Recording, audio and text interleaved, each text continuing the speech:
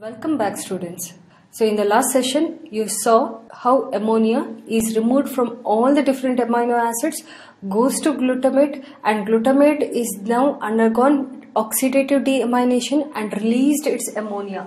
So what happens to this ammonia? Where is this released? This is released in the liver, liver mitochondria. By the enzyme glutamate dehydrogenase. So this is one mechanism by which ammonia is formed in the body. And what happens to it we'll talk later but are there any other mechanisms by which ammonia can be formed? So there are the different ways. As i said the oxidative deamination by amino acid oxidases. There is one more mechanism by which oxidative deamination can take place that is l-amino oxidase. Now the activity of this is low and it is not so significant but it results in the formation of this corresponding keto acid and ammonia and it uses FMN. Again from the point of view of MCQ that is the reason I've just told you about L-amino oxidase. D-amino oxidase activity is more than that of L-amino oxidase and where are D-amino acids formed? Remember our body is mainly made up of L-amino acids. So D-amino acids are found in plants and cell walls of microorganism. So they are present in the diet metabolized in the liver by D-amino oxidase. The difference between this is it results in the formation of its corresponding keto acid definitely and ammonia definitely but uses FAD. L-amino oxidase uses FMN, D-amino oxidase uses FAD. Again MCQ it might be asked so hence this emphasized. Now this keto acid that is formed is converted to its L isomer or it is further catabolized. So we now to summarize how nitrogen is removed from the different amino acids are there any other mechanism so transamination as i said transfer of amino group to glutamate we have got alt ast oxidative deamination release of ammonia directly by glutamate dehydrogenase, L-amino oxidase and D-amino oxidase. Is there any other mechanism? Once I have told you oxidative deamination, naturally there might be some other mechanism which is known as the non-oxidative deamination. So are there mechanisms by which the body can release ammonia without oxidizing? Yes, there are and they are called as amino acid dehydratase. This is a special amino acid dehydratase is a special uh, enzyme which can uh, remove water and help in the liberation of ammonia. Now classic example for this is serine to pyruvate, serine or cysteine to pyruvate. Let's not talk more about it again just for the sake of MCQ point of view amino acid dehydratase. They are also called as amino acid desulfhydrases. What does this mean sulfhydrases? It means sulfur is also removed along with this. This is uh, especially important in sulfur containing amino acid metabolism that is cysteine is converted to pyruvate. I'm just uh, giving, uh, I'll be talking about these amino acids and their metabolism when I will be touching upon these uh, different enzymes. Now another important uh, enzyme is histidase. What does histidase do? It uh, catabolizes histidine, converts histidine to urocanic acid. Again, I will be repeating about this. So, right now, just remember that histidase can res also result in the formation of ammonia. So, ammonia is formed. Is this, this is, from where has this ammonia come? all this time whatever I talked they were all from amino acids that is transamination, oxidative deamination, non-oxidative deamination what I was talking of only and only amino acids amino acids which have come from protein so are there any other nitrogen containing substances which can also liberate ammonia you know that nitrogen is present in DNA, nitrogen is present in RNA. So nitrogen, can these liberate nitrogen as ammonia? Yes, we have other substances also which contribute to the formation of ammonia. Let us look at them from amino acids I told you by different mechanisms. The amino groups of purines and pyrimidines also contribute to formation of ammonia. Another important is action of intestinal bacterial urease on urea. We'll talk about this more in detail. This assumes importance especially when there is liver damage. So the action of intestinal bacterial. So this urease is present within a bacteria. The bacteria is present in the intestine. So if urea reaches the intestine, this can be acted upon by urease. It results in the release of ammonia and this ammonia is absorbed back into the blood. So this blood also contains some amount of ammonia which has come from the intestine by the action of intestinal bacterial urease. Other than that, ammonia is also formed because of the biogenic amines also. Now let us see how ammonia is transported. We came to know that ammonia is formed in different places, different cells. Purines and pyrimidine degradation, degradation is occurring in uh, all over the body. Amino acid catabolism is occurring in all different tissues within the body, different cells within the body. So how is it transported? And remember this glutamate dehydrogenase is present in the liver and urea cycle is happening in the liver. So something must be there to transport all this ammonia from different places to the liver. So how is it transported? And this brings us to the transport of ammonia. Remember ammonia is very very highly toxic. So it is very essential. It should be transported in its non-toxic form. So how can it be transported? One of the most important transporter is glutamine. Now i have used the word glutamine. What's the difference between glutamine and alpha ketoglutarate? Alpha ketoglutarate what is it this is the keto acid. When to simplify, to tell it simply, when alpha ketoglutarate takes up one molecule of ammonia, it gets converted to glutamate. I am writing it as GLU, the accepted abbreviation. When glutamate takes up one more molecule of ammonia, it gets converted to glutamine. So GLN, glutamine, accepted abbreviation for glutamine. So you look here. If glutamine is going to transport ammonia, it can take up as many as two molecules of ammonia and it can transport it. Is glutamine, what is glutamine? Glutamine is a amino acid. So it won't cause any toxicity within the blood to any tissue. So this is one glutamine is a very good form by which ammonia is transported within the body. Alanine is one more form by which ammonia is transported within the body. What is happening in alanine? Alanine has got has come from pyruvate. Pyruvate is the alpha keto acid. Pyruvate takes up ammonia.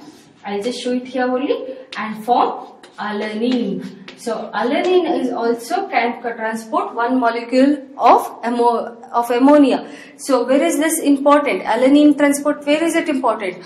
You have heard of glucose alanine cycle. So when the muscle wants to transport its ammonia in a non-toxic form, it uses alanine. It takes up the pyruvate that is there and converts it into alanine. This is ALT, alanine transaminase, glutamine, alanine.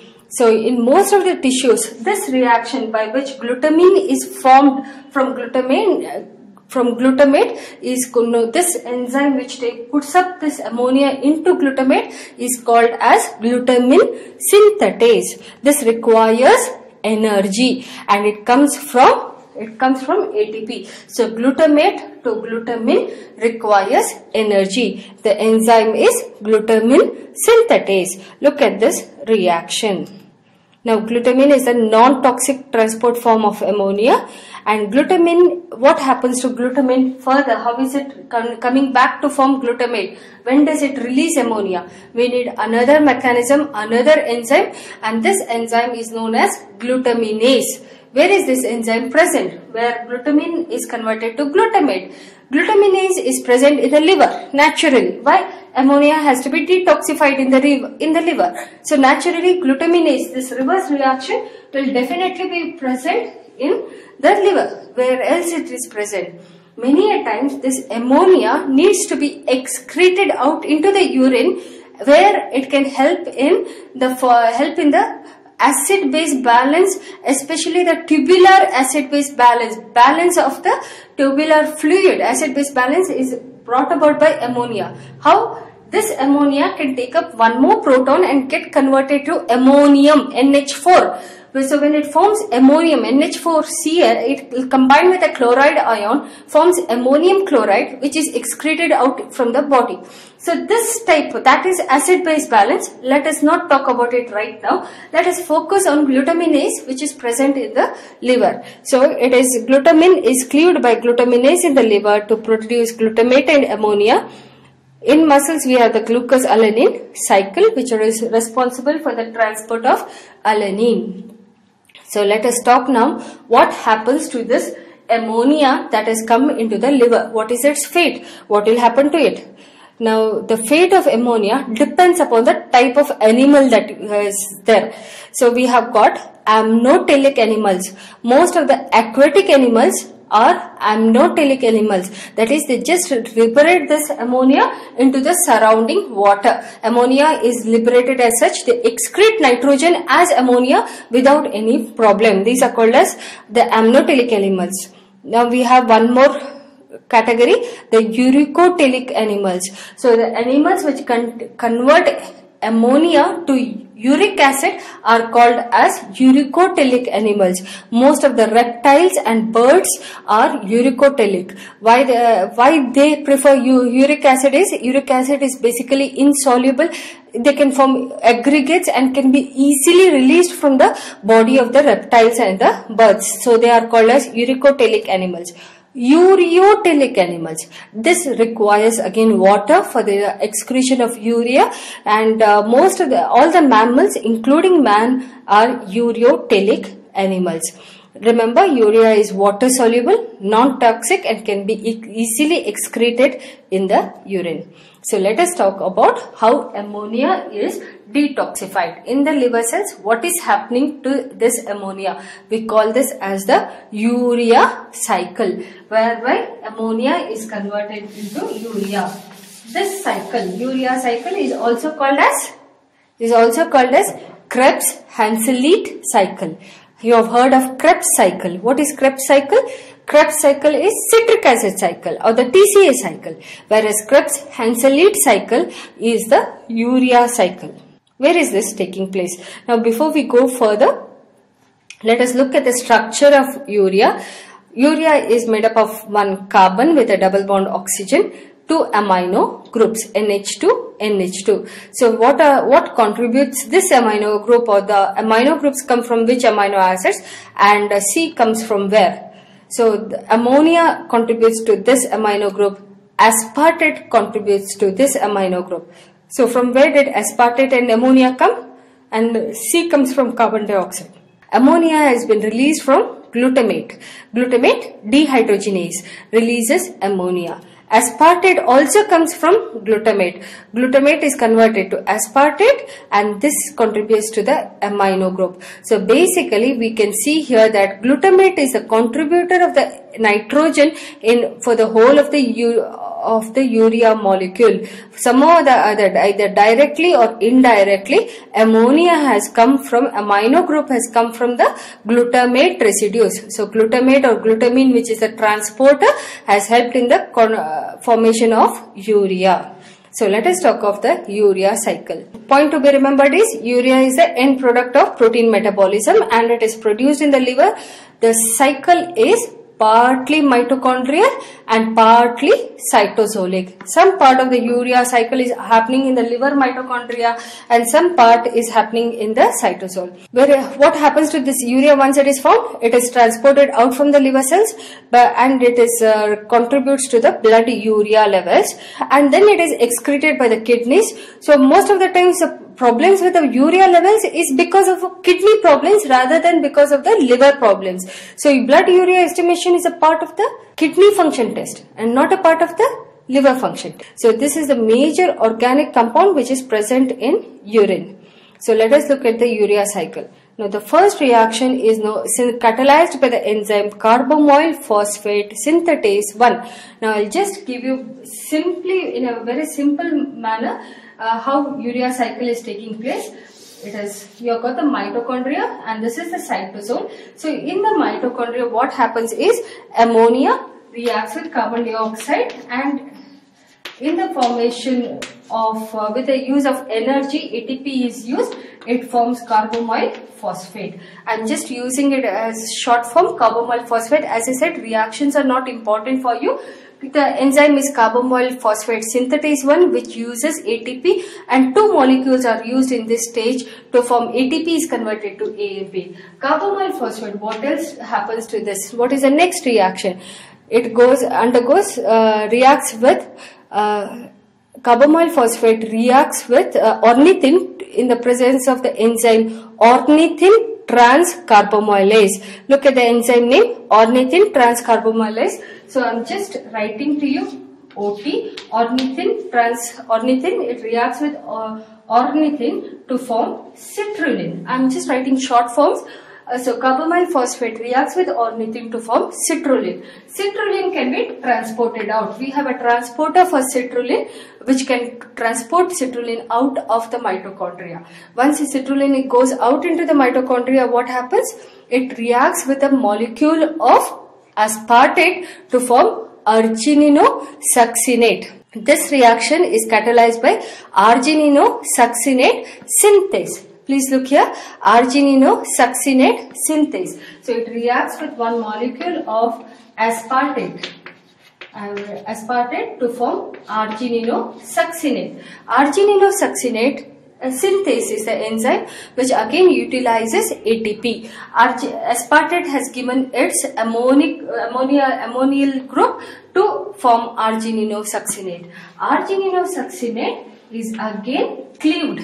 Now argininosuccinate is cleaved by argininosuccinate lyase. So what does it form? It forms arginine and it forms arginine. I just write here arginine and it releases fumarate. It releases fumarate. So, uh, ammonia is combined with carbon dioxide to form carbamyl phosphate which reacts with ornithine. Ornithine forms citrulline, goes out. Citrulline is converted, reacts with aspartate to form argininosuccinate which is lyase to release fumarate and arginine. Arginine is one important enzyme. I'll just rub it out here so that you can be, this is still occurring in the cytosol. Arginine, but the most important reaction which is taking place, let me just put it like this. Arginine is now cleaved, cleaved by the enzyme arginase to release urea. Urea is released and it forms ornithine and ornithine is transported out. It is a simple set of reaction ammonia plus carbon dioxide, carbamoyl phosphate, citrulline, argininosuccinate, arginine, ornithine and ornithine comes back. So let us look at what will happen uh, further. So argininosuccinate lyase to form arginase. What is important here? Fumarate is released. Where have we heard of fumarate? Fumarate is a intermediate of the TCA cycle. So what? If it is an intermediate of the TCA cycle. Fumarate can be further, it forms a link with, it forms a link with the TCA cycle. Fumarate, what happens to further? Further to fumarate, fumarate is converted to malate, malate is converted to oxaloacetate, malate, malate is converted to oxaloacetate and oxaloacetate is converted to aspartate. So from where did aspartate come? Aspartate also came from glutamate. Remember, oxaloacetate to aspartate is a transamination reaction. So glutamate gave its ammonia group to oxaloacetate formed aspartate. So from urea, we have glutamate which contributed its amino group to urea. This ammonia also came from glutamate. So glutamate gave its ammonial group to uh, released ammonia by glutamate dehydrogenase and urea so finally the molecules of amino, the amino groups of urea came from glutamate itself, either from ammonia or from this glutamate, glutamate to aspartate and then it has formed urea. So that is the importance of these reaction. So this link, it is also called as urea cycle, TCA cycle, bicycle because again this is one more cycle, this is one more cycle, it is a bicycle because of its links with the TCA cycle. And here important is there is no net utilization of ornithine. What are the energetics? Four high energy bonds are utilized for the synthesis of one molecule of urea. MCQ question that can be asked. Please note that you have got carbamyl phosphate synthetase 1 is present within the mitochondria. CPS1 is present in the mitochondria. Is there any CPS2? When 1 is there, naturally 2 has to be there. So where is this CPS2? Carbamyl phosphate CPS2. Uh, carbamyl phosphate synthetase 2 is involved in pyrimidine synthesis and it is present in the cytosol. One characteristic feature is it is not activated by N-acetyl glutamate whereas CPS1 is activated by N-acetyl glutamate. So what is this N-acetyl glutamate? Let us look at the regulation you will come to know of it. The rate limiting reaction is the regulatory enzyme that is CPS1 N-acetyl glutamate is an essential activator for CPS1 what is this N-acetyl glutamate? It has come from acetyl-CoA and glutamate and arginine is an activator for this synthetase. So to simplify this, let me just take one minute to tell you from where did N-acetyl glutamate come to, show you again the importance of glutamate. Please remember glutamate gave one ammonia, glutamate formed aspartate which was in, incorporated into urea. Now glutamate is going to regulate the regulatory enzyme also. How? It will combine with acetyl CoA plus glutamate to form N-acetyl glutamate which will stimulate CPS1. Okay. Now which will stimulate CPS1. So what is happening? Glutamate has seen to that the, uh, whenever glutamate levels increases, CPS1 is stimulated and urea cycle is stimulated. At the same time, this is also under the control of, this is a synthetase which is under the control of arginine. Okay. Arginine will stimulate this synthesis of N-acetyl glutamate. Okay. N-acetyl glutamate is synthesized from acetyl-CoA and glutamate and arginine is an activator of this synthesis synthetase. So after a meal, there is increased production of both arginine and glutamate which leads to the production of N-acetyl glutamate and then activation of the urea cycle where I'll talk about the metabolic defects of urea cycle in the next session. So right now we saw that how ammonia, how glutamate is helps in the conversion, helps in the transport of ammonia, how glutamate regulates the whole of the urea cycle, how glutamate gives out ammonia, how glutamate releases aspartate and finally there is urea formation in the liver. Uh, this cycle is happening partly mitochondrial and partly cytosolic. So let us start the next session with the metabolic defects of urea cycle. Thank you.